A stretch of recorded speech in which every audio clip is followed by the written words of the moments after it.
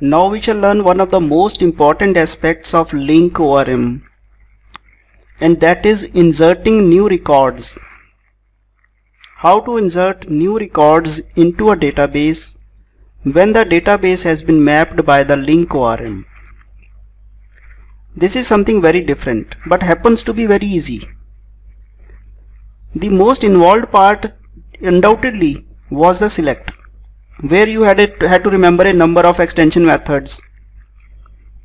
But uh, as far as insert is concerned it is one of the simplest things that can be done.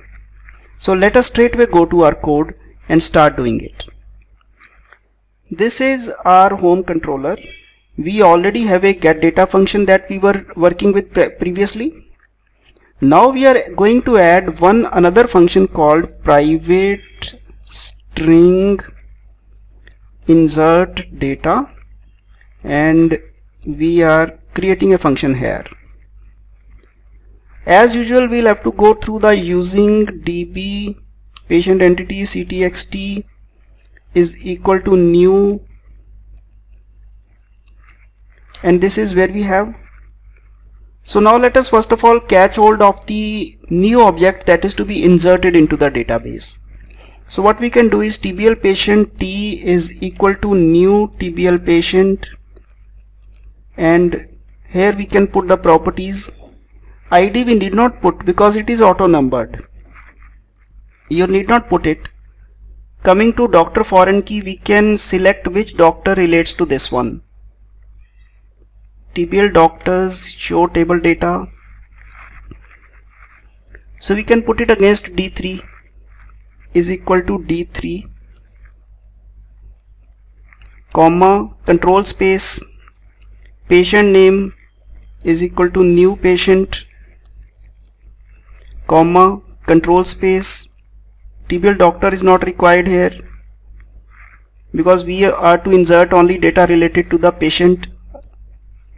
ID will be auto number. Doctor foreign key has been added patient name is added TBL doctor is table so this we, we, we do not have to worry about it. So this is the new record that we want to insert into our database. And what do we do?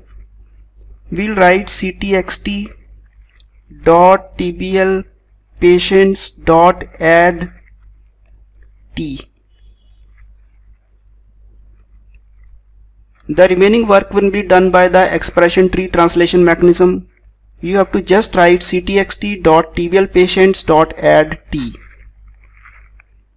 This will create an insert query which has to be executed against the database. It's wonderfully easy and next the last step is to propagate the changes to the database. So we have to save them ctxt.save changes. This step will save the changes to the database and finally we can return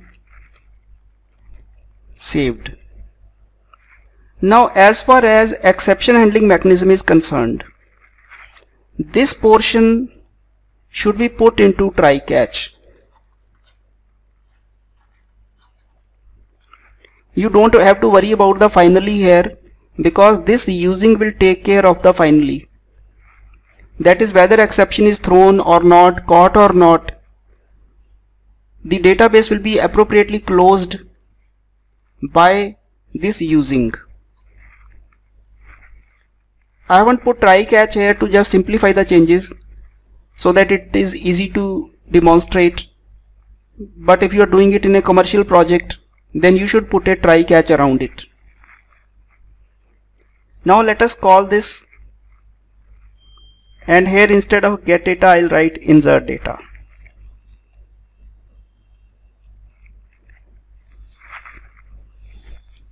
So when I call insert data function here, the code enters here, a new object is created. Generally this is taken from text boxes and all. And add is called on it. TBL patients dot add and propagate the changes. Have a new object, add it to the collection and last propagate the changes